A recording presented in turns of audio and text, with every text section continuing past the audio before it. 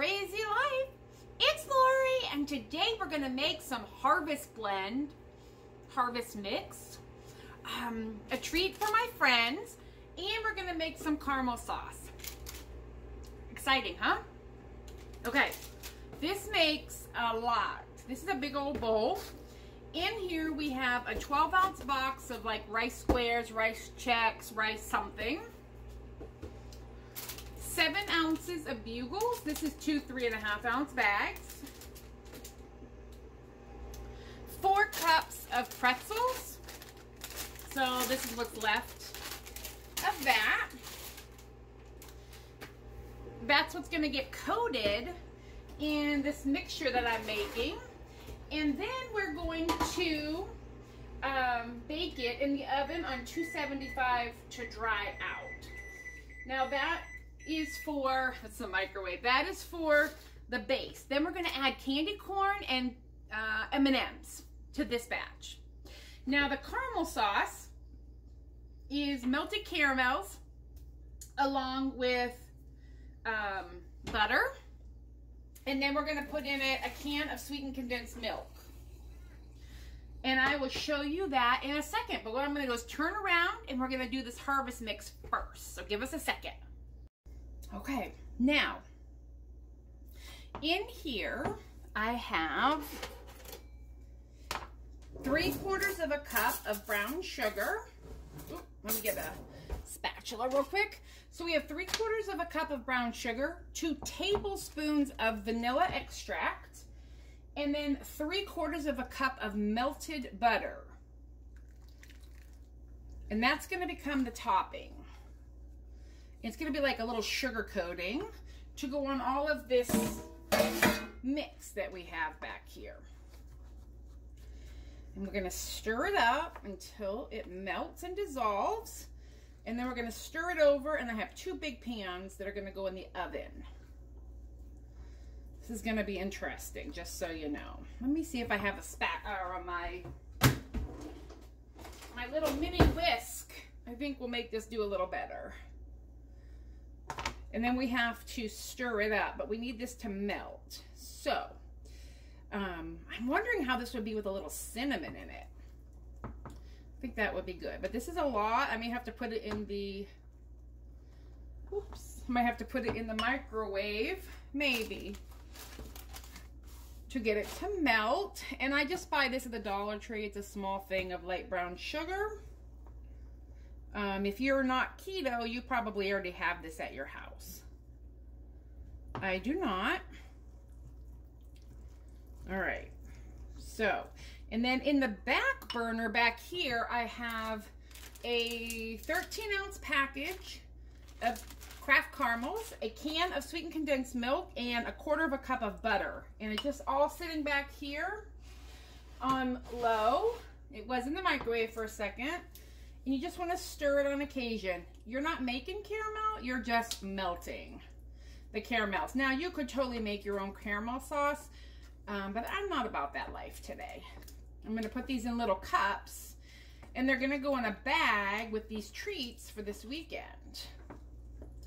I'm going to meet my work friends.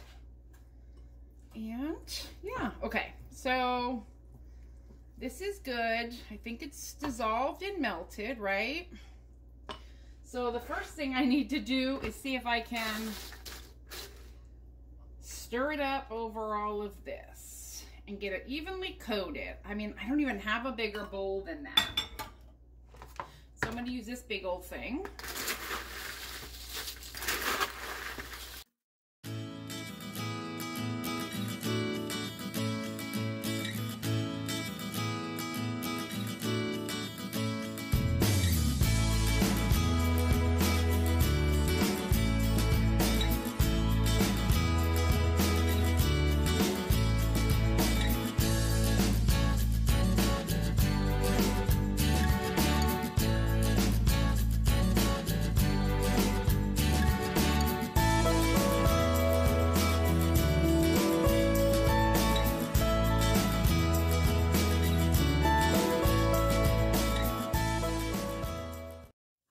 They're in the oven at 275. We're going to stir it about every five minutes until it's all dry.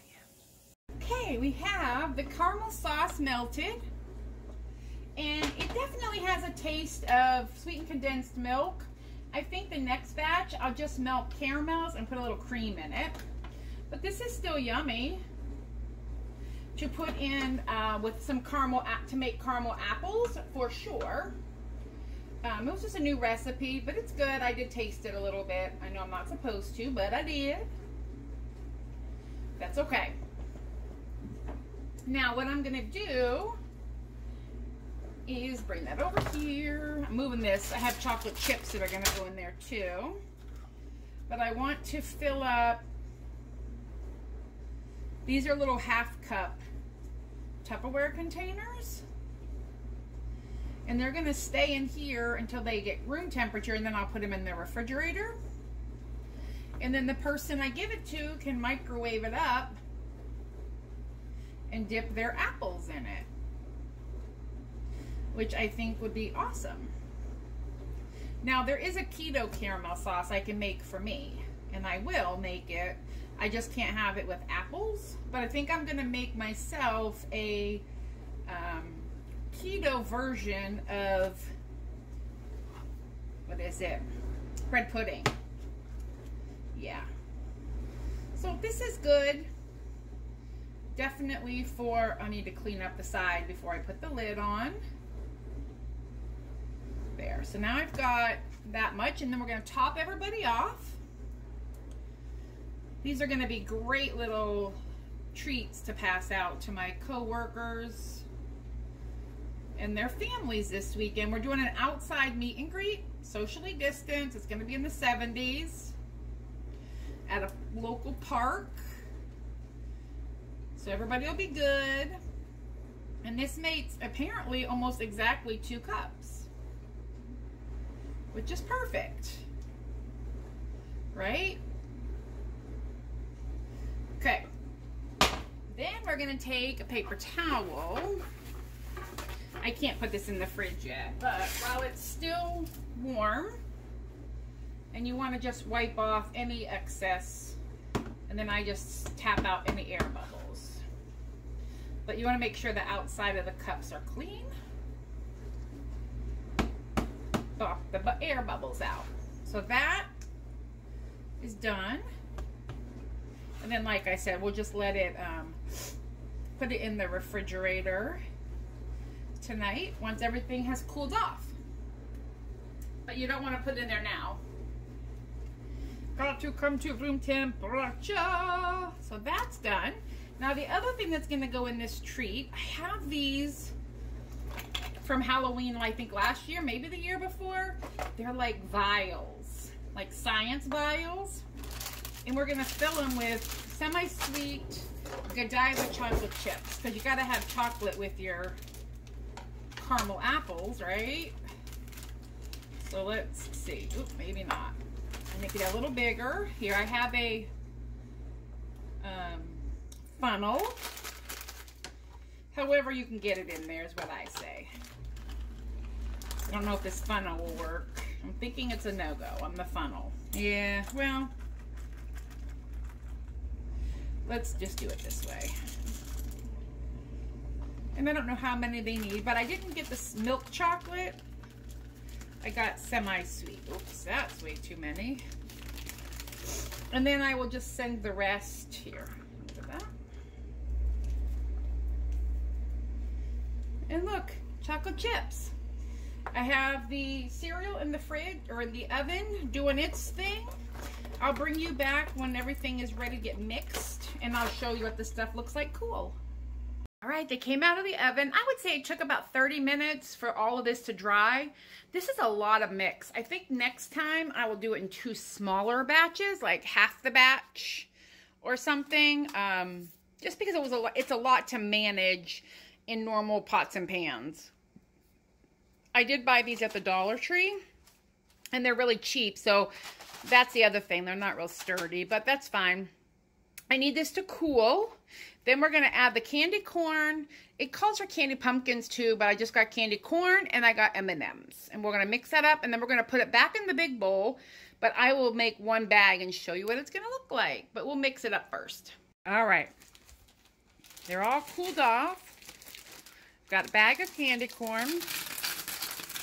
We're going to do like half in here and half in here because I'm never going to be able to mix this up in the big in the big bowl.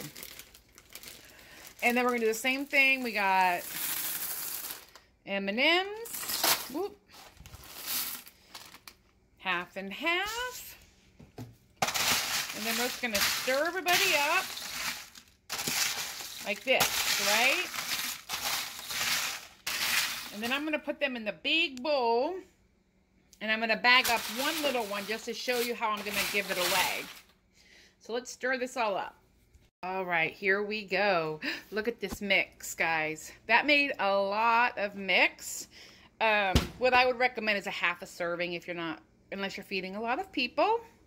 I have 100% apple juice in this little container that looks like an apple. I've got some caramel sauce, some chocolate chips, I was going to get them an apple, but they can just get an apple. And then a bag of mix.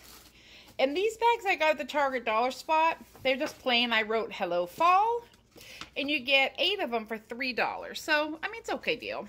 So we're going to put the caramel at the bottom. And the apple juice can sit right on top there. You see how that is? Then we're going to take this pumpkin full of mix, turn it sideways. I'm not going to shove it all the way down, but it fits. And then that's going to go right in there. And then maybe some tissue or not. But that's going to be the little gift bag that I'm going to bring from my friends. And then I'll bring extra mix for, for them to take home to their families. So I hope you enjoyed that. And uh, you have a good one. I will talk with you later. Bye.